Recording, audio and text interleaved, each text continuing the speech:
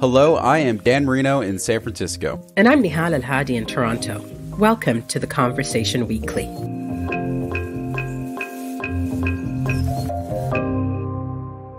This week, we are talking about ecosystem restoration efforts and how to ensure their success. So, to do this, Nehal, I'm going to start with some sad numbers, but bear with me. I'm just trying to make a point and the ending is fun and even cute. Can we not just skip straight to cute? I'm sorry, I can't do that. We need to, you know, set the scene, explain why this is important when we're talking about ecosystem interaction. So, according to a 2019 UN report, 100 million hectares of tropical forest were lost from 1980 to 2000, primarily due to expansion of cattle ranches and agriculture. Of course, the loss of tropical forest isn't just about trees and plant life. These forests host biodiversity, and they're a whole ecosystem, and you're going to hear that word a lot this week. But in 20 years, a forest the size of Norway disappeared from the face of the earth. And we've lost more than 85% of wetlands that were present in the 1700s, and the list goes on. It's not so great. I'm sorry, Nehal. These are the sad part I was telling you about. It's hard to wrap my head around what that looks like. How do you lose forests the size of Norway? That's a really good question because fundamental to this idea of ecosystem restoration is a question of scale. We're living in an era where there's a lot of effort and money being put into restoring natural places. But how in the world do you approach a problem that's the size of Norway, right? Like the scale is really important here. Well, as I've been learning from the scholars I've spoken to for this episode, one way to do this is to use what are called ecosystem engineers. Have you heard of this term, Nehal? No, I haven't. It sounds really science fiction future career. it kind of is, although it's kind of simple when you hear it explained. And I'll do that right now. So, broadly defined, an ecosystem engineer is a species that significantly modifies, maintains, and or creates habitats.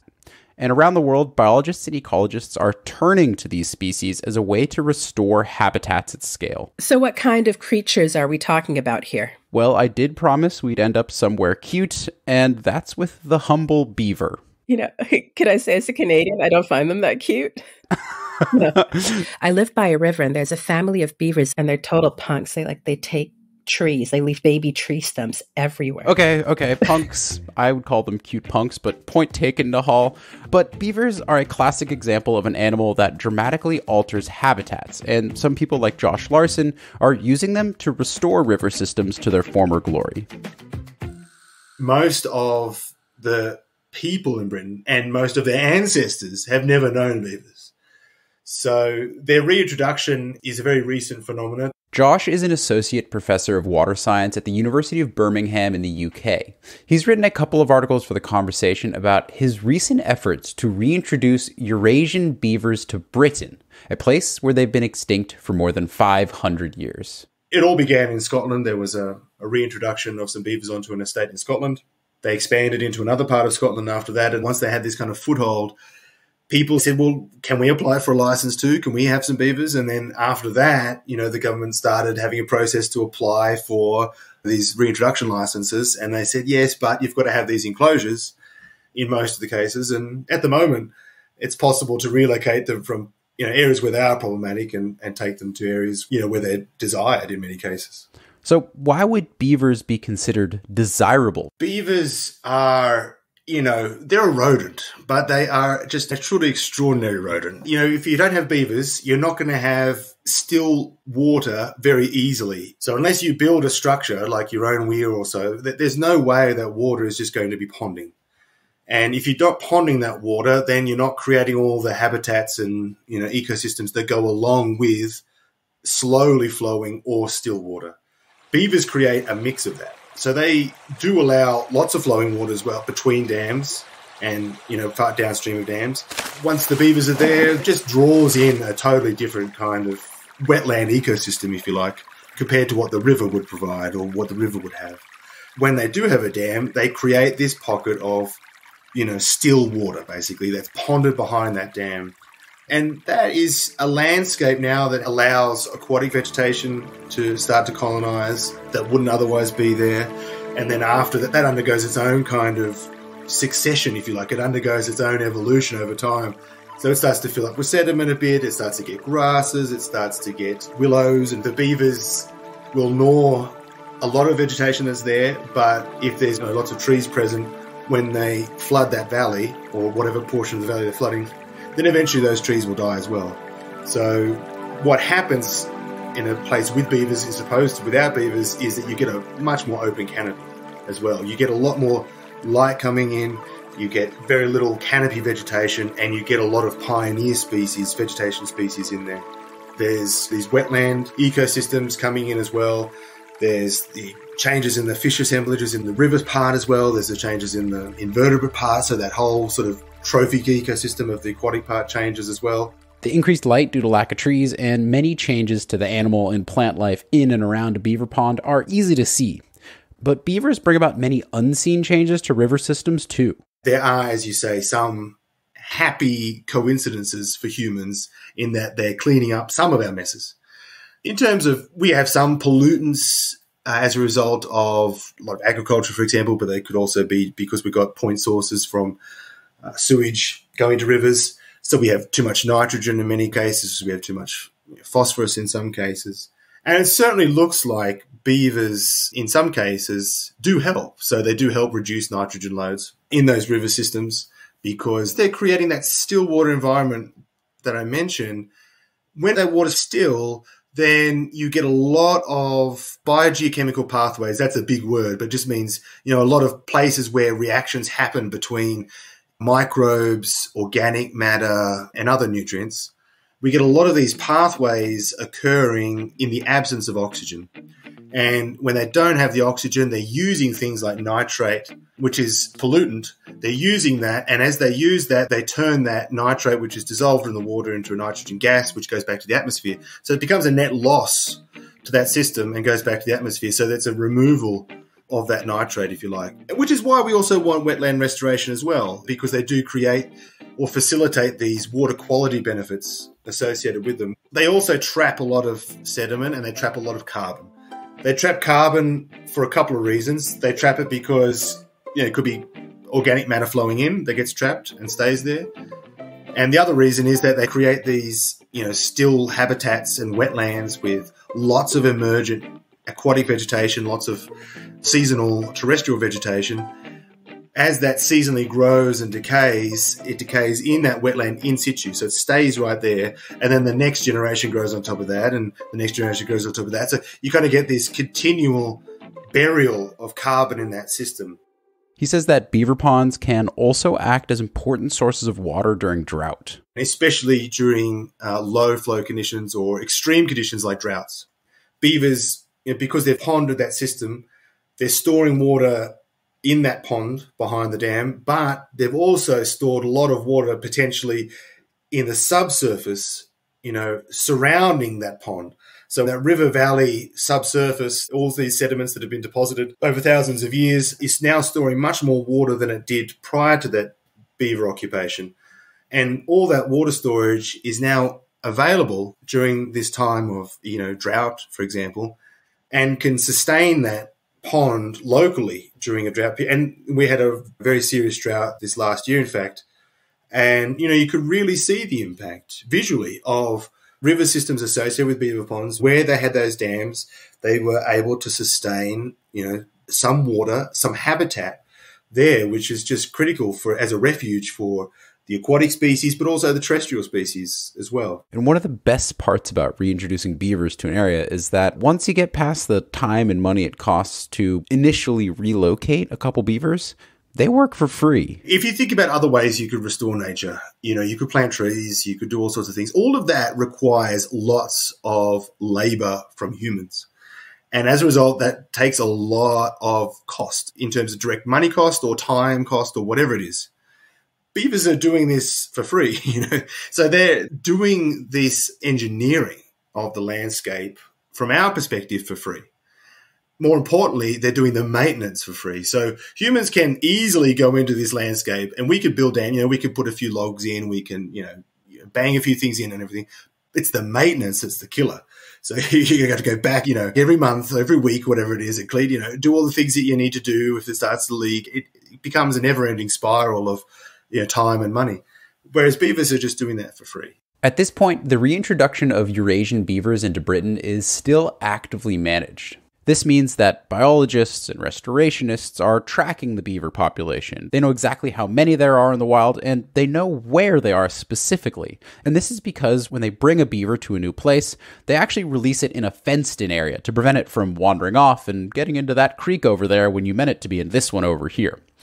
Josh believes that showing the success of this managed reintroduction of beavers is a really important first step towards gaining support for a wild restoration project across Britain more generally. Beavers are the second fastest expanding mammal species at the moment, or the Eurasian beaver. Oh, wow. So they're in this you know, rapid expansion phase at the moment. When there is the right landscape, you know, we've said, you know, this place, we don't want to do anything else with it. We're just happy to let the beavers come in and restore whatever ecosystem they are happy to come up with.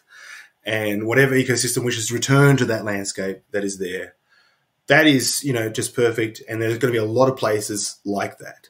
Then there'll be a lot of places in between where we're not quite sure and we'll be umming and ahhing about it and we'll have to think about it. And there'll be some cases where we say no, you know, we're just not willing to do that. And if they come here, we're going to relocate them and put them somewhere else. But we do have to accept that they're not always going to be doing everything that we want all the time. And I think on the scientific side as well, we have a lot to do to catch up because you know, there is this desire to rewild and restore nature to landscapes. And that's wonderful. It's just that our understanding of how that functions in terms of processes and dynamics is so far behind the desire to have them. So, you know, as people put beavers back and as beavers expand themselves, we're kind of playing catch up a bit scientifically to try and figure out how, how the hell these things are working and operating uh, and how they function as they go. Still, despite all of the incredible things these fascinating creatures can do and do do for a landscape, he's careful not to oversell the beaver's capabilities. You know, they will create new landscapes that you know we haven't seen for a while, uh, and probably haven't seen at all. I think we should also be careful not to overstate, in many cases, that they're not going to solve all our problems. You know, they're not going to solve climate change. They're not going to solve you know flooding and things like that. If we could be moderate with our uh, in terms of overstating the benefits, but really extol the benefits where they exist, which they do, then I think it's going to be a wonderful good news story. So all the pieces are there on the board for that to happen in many cases. And they can work in tandem with other nature recovery programs that we may be having. So, those beavers that I was talking about, I've actually seen their dam grow as I walk past where they've built it it's really interesting to think about the role that those dams play in ecosystem engineering. And the dams are what we think about as kids and stuff, but it's about the ponds, right? Like, I'm sure you see this pond growing behind the dam and the reeds and the fishes and the birds. Do you see that stuff, Nehal? I don't know about the fishes, but I definitely see the birds and I do see the pond getting bigger each summer. And it's hard to imagine this at scale, right? When we're talking about in the UK, what were hundreds of thousands of beavers, and then there were zero. And that's hundreds of thousands of these ponds, these ecosystems that were covering the landscape down to zero. So that's what beavers can do. Is there any other animal that does the same thing? Beavers are truly special creatures in that one individual can really dramatically change an ecosystem, but they are not the only ecosystem engineers that have been wiped out in such a dramatic fashion. So, to meet the next ecosystem engineer, we're going to head quite a ways south of the UK. My name's Dominic McAfee. I work at the University of Adelaide in South Australia, where I'm a marine ecologist, particularly focusing on the restoration of our lost shellfish reefs, reefs formed by oysters. Dominic wasn't always an oyster evangelist, as he now refers to himself. In fact, he didn't really give them much thought until a little over 10 years ago. This was in 2011. I picked up a paper describing the global loss of oyster reefs and I saw around Australia in particular, because I live here, it caught my attention that our reefs are considered functionally extinct, that we had lost over 99% of them. And that just didn't compute because when you grow up, particularly on the East Australian coast, oysters are everywhere. They're encrusting rocks and mangroves and forming a veneer around our estuaries What I wasn't aware of is that that's actually just a tiny component of what these ecosystems used to be. They used to form substantial reefs. They were the primary marine habitat in coastal bays and, and estuaries over about 7,000 kilometres of Australian coastline.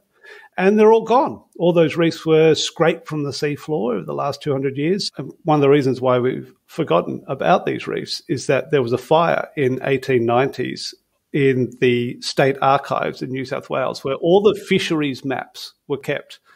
So that was devastating. It's uh, painful to think about that event happening. But in any case, we've lost that historical memory and there are very few maps left. But the ones that we do have show that they were extracted from all our bays and estuaries. And there's also a lot of documentation about how people were going to move oyster shells across the state as well in gargantuan volumes. And I should mention that indigenous populations had been harvesting and sustainably managing oyster reefs. Certainly in Queensland, we have evidence for that, mm-hmm. but in other parts of Australia too. But within decades of the Europeans arriving, it was a very weird landscape. The European crops weren't doing very well, and the oysters were just there in abundance in the intertidal. So they were harvested almost immediately and really sort of provided the early foundations for colonial sustenance, but also provided a really valuable building material. If you burn oyster shell, you can manufacture what's called quicklime. So many of the early colonial buildings were being laid down with oyster cement. So that just oh, exacerbated wow. the loss. At first, you might not think that losing oysters is that big of a deal. They're just little shelled creatures. They basically don't have a brain. They just stick to rocks, and the larvae are so small that you can barely see them without a microscope. But oysters are, in fact, ecosystem engineers, that idea we talked about earlier. When their populations are healthy, they completely change the coastal marine environment by quite literally acting as the foundation for the ecosystem there. One of the incredible things about oysters, they can thrive in the intertidal, so right up to the high tide mark, you have these intertidal oyster reefs but then right down to 40 meters as well. Oh, wow. And an individual oyster needs to be prepared for that diversity of environments that it may settle in. And there's different types of ecosystem engineering, but the one we're talking about is uh, where they're forming an ecosystem through the structures that they introduce. So think of trees in a forest. Without those trees, you don't have all those secondary foundation species, the mosses and the plants, the understory. Uh, so oysters provide that similar role in the sea. So they provide the hard structure, much like coral provides the foundations for thriving mm. coral reefs. And we had these reefs formed by oysters, stretching from about where the coral end in the subtropics. They would stretch all the way down, in many places, right up to polar waters in the northern hemisphere. Mm. And the healthy oyster reefs that I've seen, they're really thriving metropolis of, of invertebrates, fish, crabs, squid, all sorts of organisms that congregate and live in amongst the oyster shells. So when oysters come together, they form this complex three dimensional habitat. They grow up from the sea floor, and the reefs in Australia were sort of up to four meters high. That's a big reef and up to kilometers long. So individual reefs could be tens of square kilometers oh, wow. in scale. They were bloody enormous. So it's complex, three dimensional habitat, which in the intertidal provides a thermal refuge, for example. It provides microclimates that are about 10 degrees cooler than outside of the oyster habitat. That is the difference between life and death for a lot of intertidal animals. Oysters are also filter feeders, meaning that they eat by pushing water through their bodies and filtering out and consuming little organisms and other tiny particles that are in the water. One oyster can filter something like 100 to 200 liters of water a day, a mature one. So once you multiply that by the potentially billions of oysters that make up a healthy reef, you've all of a sudden got what I like to refer to as the kidneys of our coastline, where the efficient water filtration systems that reduces turbidity, increases sunlight penetration, which encourages primary productivity, seagrass kelp to grow on the seafloor. What else do these oyster reefs do for the coastal ecosystems? Well, that structure and that filtration function, ensuring healthy waters, had a lot of downstream impacts. And one of the major ones that we value as, as people who enjoy seafood and thriving marine communities is fish productivity. More oyster reefs equates to more fish because it's fish breeding habitat, really good nursery habitat, and a lot of juvenile fish find refuge in amongst the oysters. So they provide a predation refuge where predation is a big problem in the intertidal. It's more about that heat stress refuge. They also, when they're near shore, provide a buffer for wave energy. So a major motivation for restoring them, particularly on the east coast of Australia and the east coast of the US, where you have these historically thriving intertidal oyster reefs would be to um, mitigate storm surges and provide a buffer to vegetation to recover on the leeward of those reefs. So those are some of the major motivations for bringing them back: fish productivity, water quality, shoreline protection, mm-hmm, mm-hmm. and just thriving biodiversity in general. So, uh, walk me through this. What does it actually look like to try and rebuild an oyster reef? Mm. Because we scraped every single oyster from the seafloor, including dead oysters, to burn.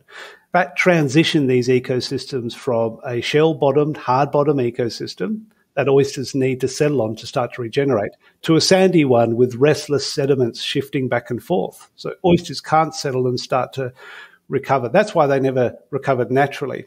Oh. So the first step to restore them is to provide those hard foundations. And we've been doing that uh, about seven to eight meters depth in South Australia by deploying limestone boulders. Limestone's made of a similar material to oyster shell, and oysters, as a little larvae, can actually smell another oyster shell. So limestone's an appropriate uh, substrate to use. We build those oyster reefs, and then we hope that the oyster larvae can find them, and we hope and pray that there are actually larvae still out there in the system. We hope that those individual oysters are producing enough babies to naturally seed the recovery. But we really didn't know if that was going to work. So, you know, the thinking was put some boulders down here, some limestone boulders. If you build it, the oysters will come. Did they come? They did. And they came, they came in abundance. We it, it really blew our mind because as I mentioned, we've just got these individuals somewhere. We don't have any remnant reefs. And, and I dived on the first construction site uh, before it was constructed, and I found one mature adult per uh, 300 meters squared. So we put the boulders in at the right time, and they came. They came. The oysters came. We didn't know if we are going to find any but they settled in abundance and they carpeted the underside of, of these boulders. So when, when you say covered in oysters, are we talking like thousands of individuals over the yeah. coast? Okay, so like really a lot of lot of recruitment. We're talking about 24,000 individuals per meter squared. Oh, wow. Yeah. That's really wild. So, if I'm understanding this correctly, these reefs were made out of oysters upon oysters upon oysters, growing on kilometer after kilometer of rock, literally creating a reef where there wouldn't have been one. It would have been only sand. Yeah, so close. It's not quite that. When the original oyster reefs were there in Nahalt, they just kind of been there forever. So there weren't any rocks that the oysters needed to attach to. There was just an old oyster reef, and then the new oysters grew on top of that one, and that one, and that one. It was just oysters on top of oysters. And that's the kind of point, right? These are ecosystem engineers. It's what they do. They take sandy, boring bottoms and create reefs. And that's kind of cool. So they're literally ecosystem engineers. I can see how what they do is really valuable. And my inner conservationist is totally on board, but my inner pragmatist is thinking that going around coastlines, dropping boulders into the ocean, that's a pretty big job. You're right. It is a big job because the oyster reefs were destroyed, it takes a lot more work. I mean, there's literally crews with cranes on a boat dropping these giant boulders into the ocean. This ain't cheap. This ain't easy. This is really, really hard. So they're going around dropping these boulders into the ocean. But how did they make sure that the oysters would attach to the boulders? Well, they had a couple of different strategies, and one of them might come as a surprise when you think about the sensory capacity of the oyster, and it actually has to do with sound. Take a listen to this. It sounds like a crackling fireplace. It does. And in fact, uh, if any listeners have gone scuba diving or snorkeling near a healthy reef, and I've done this a number of times being a former marine biologist, that's the sound of a healthy reef system. You stick your head underwater and it's loud. So, Dominic and his colleagues found that when you play the sounds of a healthy reef system, like literally through speakers underwater, this attracts oyster larvae to where that sound is coming from. There had been some research to show that oyster larvae would dive and settle in the presence of healthy sound as opposed to no sound. So we just delved a bit deeper and thought, well, maybe we can use that to actually bring them towards our reefs. And hey presto, we could. And that's the research we've been focusing on over the last couple of years, where we've been actually amplifying the most attractive sounds of the sea using underwater speakers to draw baby oysters towards our reef. And the results have been pretty amazing. By putting speakers on our restorations, we had up to 17,000 more oysters settling per meter squared in the presence of our speakers than in the absence. So you, you did this kind of initial drop of these limestone boulders, right? And you weren't sure what was going to happen. You started to see recruitment. Now you're doing more research and figuring out other methods, playing sound. Um, anything else you guys are doing to kind of enhance the recruitment here? So we're actually taking what I call a, a multi species approach to restoration. We've lost oyster reefs, at the very least 1,500 kilometres in this state alone. But we've also lost thousands of hectares of seagrass as the city of Adelaide developed. You had nutrient runoff from both our farms and our urban areas. And we lost kilometres and kilometres of kelp forest. So our work now centres on restoring not just oyster reefs, but sort of seascape connectivity by utilizing these boulder reefs, which are massive infrastructure projects. We're talking about barges going out with cranes yeah. dropping thousands of tons of limestone. So we're trying to utilize them to bring back multiple systems. And we're using kelp transplants. And we're also using the hydrological shadow provided by these reefs to bring back seagrass, which used to exist in these environments. And we see that when you put boulders down, that's a lot of habitat for a lot of opportunistic species, not just oysters. So that's just one other strategy that we're focusing on. But of course, these oyster attraction strategies, although kind of cool sounding, don't change the fact that the initial step in all of this, the giant limestone boulders that the oysters need to attach to, those are costly, and dropping them out into the ocean requires a lot of effort.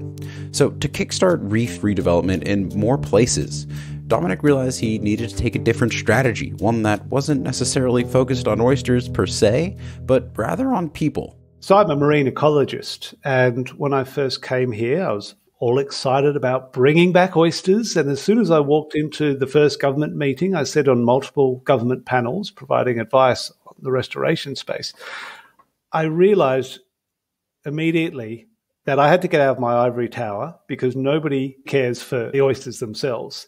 It's all about the social benefits. So I have transitioned and broadened my work to work with social scientists and conservation psychologists and economists and lawyers to understand how we can a simplify the process for restoration. At the moment, it's a very complex legislative process that not many people can um, navigate. But what I'm really interested in is how we create more of a restoration culture. Hmm. How do we involve communities at large to get involved with restoration, to legitimize government investment, and to incentivize industries to back restoration, first and most likely through growing corporate responsibility that governments want to invest in green projects, uh, either as offsets or just for kudos with their customers. But as a longer term vision, I would like to see restoration as a normal part of coastal living and for coastal industries to support coastal living because thriving marine ecosystems support social well-being. How do we do that? Um, first of all, you make the process a little bit easier and you really incentivize community involvement in these restorations.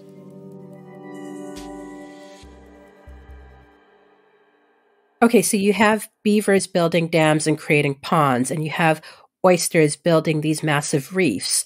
These sound like success stories. They are success stories, Nehal, but to do this in the real world is more than just a science question, right? You can't just go out and drop some boulders out off the coast. You can't just put some beavers back in the UK and I mean, that'll result in flooding of some farmer's plot of land, right? You need support from the local community, and you need money and permits from support from the local government. And that's not easy to come by all the time. I get that, especially with all the challenges that people and governments are dealing with as we try to recover from COVID.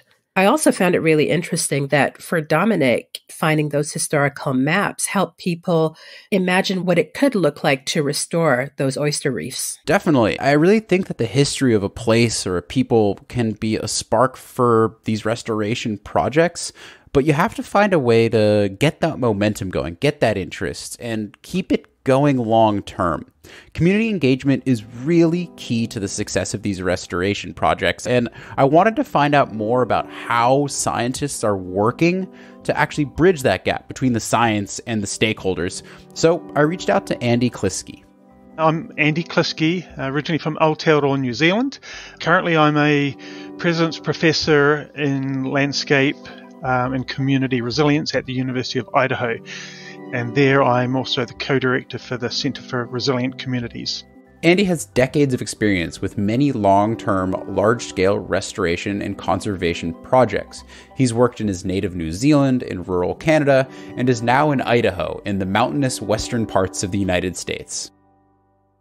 So when you're starting to think about a project like this, who are the people that you're starting to think about? Like who are the players involved? There are multiple people, um, whether it's local community, whether it's you know regional and state and federal managers who have another sort of knowledge and different knowledges. Hmm. You know, often very practical, pragmatic knowledge that um, for those of us that work in a university, we sometimes we can easily forget, and it's this sort of interplay between what we know is the you know the best science, and, and often that's the best Western science, but there's also you know, tribal or indigenous knowledge and science that comes at it from a different perspective. Uh, that in particular really does accommodate this breadth of understanding piece, the social system, the issues of policies and governance and regulations and people's attitudes and values that all come into place. That's all part of the social system. And then you know, the actual physical process. Andy's work falls in the field of social ecological systems. And he explains that thinking about conservation in terms of both social systems and ecological systems and putting them together is helping biologists and conservationists and policymakers approach their work in a different way than they have previously. It means looking at environmental issues, not just from a single sort of disciplinary point of view, not thinking of it just from the, the physical process, but thinking, well, everything happens in, in different contexts. Many things occur in a local place, in a town, in a community. And so it is looking at what are the links across those different ways of understanding things. And really, it's about thinking about people in the landscape as being intertwined and how one interacts with the other. And so when we come at it as, as scientists, looking at multiple ways of knowing and how those can be weaved. And in some ways, social ecological systems thinking, it's an age old approach mm. to things. I mean, in Western science, with the Enlightenment and kind of this approach to compartmentalizing how we approach science into little, very fine, narrow, detailed aspects of study has moved us away from thinking about the whole and how things interact. But, you know, once upon a time, Indigenous communities still very much focus on the whole picture, how it's interacting. And so that's what we're trying to do in taking this approach. It's like, how do all of the pieces interweave? How do we understand these interactions to best understand the issues related?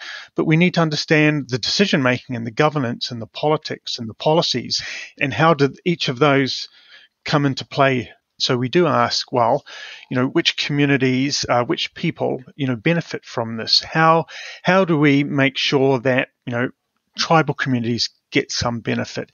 And it's not just then going to be about you know Native Americans as members of a particular community, but then it's also the non-human um, mm. players that come into play. How do we benefit the ecosystem as a whole, regardless of our place in it? Andy says that this more holistic approach allows for an exchange of knowledge between scientists and local stakeholders, and the fact that that knowledge isn't just going from one place to another, the scientists to the stakeholders, but also back again, in fact improves the science in the biggest scale of thinking about it a recent project we worked on in the Magic Valley of Upper Snake River Basin, southern Idaho. We had um, a group of stakeholders. We called it a stakeholder advisory group, and the research team from uh, University of Idaho, University of New Hampshire, other partners. We really changed what we did because of what we were hearing and being told by this group of, of community members, these community representatives, these stakeholders. They were telling us things that was different from what we thought based on our disciplinary knowledge and the computational model we were doing. When we presented it, we were told, well, you know, that's all very well, but you've forgotten that in, in reality, this is what might happen. It's like, oh, okay. And it can take a while for us as a scientist to recognize and understand actually, we can't just go, okay, that's great, you know, nice, good to hear that and carry on doing the way we have always done things, but going, okay, let's actually build that into what we're doing and, and change what we're thinking. And as a result, you know, we actually sometimes do have research outcomes which then, you know, come into play in, you know, for example, restoration projects because we've changed something based on input from communities. Working through the lens of social ecological systems makes a lot of sense, but Andy notes that forming these partnerships and developing new perspectives can be really challenging and genuinely humbling. I think understanding what knowledge means to different people to different communities and the importance of what that knowledge is that's tied up with you know issues of, of trust and, and listening and understanding from a place that perhaps you know I might as a scientist might not be comfortable with. And I think doing this sort of you know, socio-environmental systems, interdisciplinary, transdisciplinary work means being prepared to be uncomfortable. You know, whether that's being uncomfortable because you're trained as a hydrologist and you have to work with an economist, and it's like, whoa, that is a different way of thinking about things. Or yeah. because you're, you know, working in a university and you're having or wanting to work with people in a community with very real issues that come into play, and you know, that speak a different language and for which there are different cultural norms. That can be uncomfortable. And so I think being prepared to be uncomfortable and, and recognizing that is sort of another important kind of lesson learned um, or best practice. Is this type of thinking newer and is it proving to be more successful when we're trying to look at ecosystem scale projects? The thinking is not new, but using it within conventional science is relatively new. And, and, you know, there's a body of work for the last, I'm going to say, 15 to 20 years, um, especially in the last 10 years, where you see this you know explosion of effort and work on you know how do we actually do this sort of work and why is it important and I think it is important. It goes hand in hand again from a conventional science point of view. Disciplinary science and understanding in depth about specific things is important. We, we still need that. But we also need to be able to bring this different disciplinary knowledge and then the knowledge that stakeholders, rights holders in the case of tribal nations, other experts have and look at them together. They each have something to offer.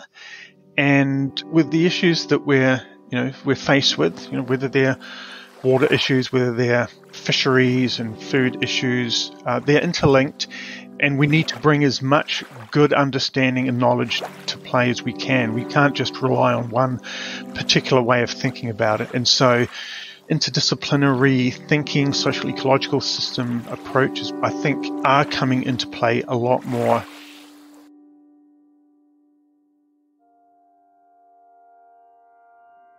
That'll do it for this week's episode. A big thank you to each and every one of the scholars we spoke to this week. Also, a shout out to Doug Hendrie at The Conversation Australia, who worked on the original Oyster Reef story that inspired this episode. We'll be back with another episode next Thursday. In the meantime, you can find us on Twitter at TC underscore audio, on Instagram at theconversation.com, or email us podcast at theconversation.com. If you like what we do, please support the podcast and the conversation more broadly. Just go to donate.theconversation.com. This episode of The Conversation Weekly was produced by Katie Flood, and it was written by Katie Flood and Dan Merino. Sound design was by Eloise Stevens, and our theme music is by Neeta Sarl. Mend Mariwany is our executive producer, and Stephen Khan is our global executive editor. Alice Mason runs our social media, and Soraya Nandi does our transcripts. I'm Nehal El Hadi. And I am Dan Merino. Thanks so much for listening, everybody.